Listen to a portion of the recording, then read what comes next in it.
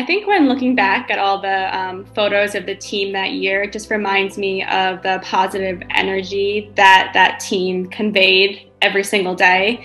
Whether we were winning or losing or having good times or bad times, the team stuck together so much, which really made that whole season and really my entire career just so enjoyable. Um, just looking back on those memories, the team was so close and worked so hard together in every moment. And um, it's still just so special thinking back on all those uh, times with my teammates.